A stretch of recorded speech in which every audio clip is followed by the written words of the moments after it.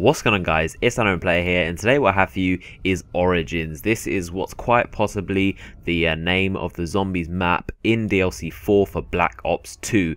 I'm not just going to simply re-upload this trailer and show you it's all, I'm just going to take the important snippets. If you do want to see the entire full trailer just as it is normal, there's a link in the description right now where you can uh, find the full video on uh, the Call of Duty uh, YouTube channel. You can see it and come back here where you can uh, find my breakdown. Now, uh, this is the kind of video that is not at all self-explanatory, and I'm going to need you guys' help to uh, leave comments of your thoughts about this trailer because it shows snippets of uh, old zombie maps and four characters. It's very confusing, very kind of fast scenes, and uh, I'm not sure what to make of it. Also, I'm going to need you guys to suggest me your thoughts about this in the comment section, and uh, together we can kind of work up what this might mean and uh, what's going to happen in this DLC 4. So here we see there are four characters and I've skipped a little bit through the trailer, but uh, there are four characters and uh, they get kind of snippets, little teas throughout the whole trailer, and I'm not sure if this is the original four, like uh, Takeo, uh,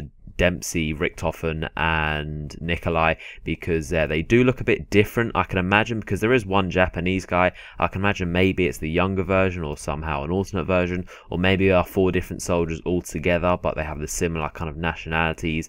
But uh, we have four characters that do resemble the original four of the uh, World at War and Black Ops 1 Zombies maps, and uh, I think this is going to involve a lot of time traveling through the old map because this is kind of a collaboration of uh, all the old World at War and some of the Black Ops 1 maps all kind of put together and um, here we can see a giant metal robot, which is most likely uh, the Giant. This was referenced in uh, Der the World at War map, the COD 5 map, and uh, means uh, the Giant in German, if you didn't know that. And uh, since COD 5, since the World at War zombie map Der was launched, we've been basically wondering where this Giant will come into play and what it means, why is it called the Giant, and uh, now it looks like we're going to find out some answers and where this comes into play. But uh, tell me what you guys think about this, anything that you might have seen. I think this could be the end of zombies. Maybe they're going to wrap up the whole story and finish everything here because it seems like they're uh, they're trying to wrap it up nicely and uh, answer all the questions that we have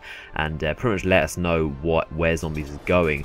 And uh, I also do know the names of the four multiplayer maps that is going to be in this DLC. I know what they're called and I actually know what this map pack is going to be called. And I'm going to upload a video very very shortly uh, after this video is uploaded so stay tuned on my channel make sure you're subscribing and uh, in a couple minutes I'm going to upload a video talking about the entire DLC not just this zombies video but uh, yeah I hope you have enjoyed it. If you have then a like rating would be appreciated and uh, if you're excited for this uh, map as I am then uh, yeah you definitely want to subscribe to uh, stay tuned for more information.